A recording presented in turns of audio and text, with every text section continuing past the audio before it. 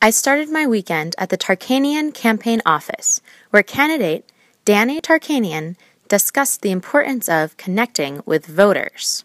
If we don't have the voter contact to get the people to go to the polls and vote, we could very well lose this race. This is a race we should win. We're in a position to win.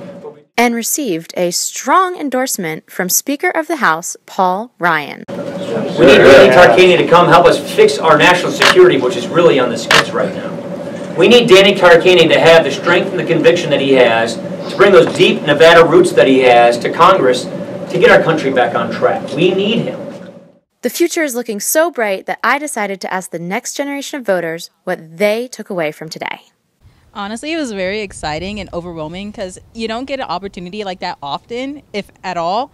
So I think it was just such an amazing opportunity to see him and listen to him speak. And I honestly supported his points very much. So it was wonderful for me. Uh, co-captain of speech and debate at my school, and we go to separate schools, and we both are just really involved in politics, and really want to see Mr. Tarkanian get into elected to Congress. Some are looking to the bigger picture of other federal races. Tarkanian, in the toughest time to stand by Trump, stood by Trump. That shows me he's got gumption. And that's why I'm 100% behind Tarkanian, have been the whole way, and I'm 110% now he stood by Trump. So I want to say thank you to Danny for that. That's fabulous comment. And what did you guys think seeing the Speaker of the House? Was that a, a cool experience for you? Uh, yeah, no, Paul Ryan's really cool, and it's it was a great honor to listen to him. But, but it was great listening to Danny today too. Good. Yeah.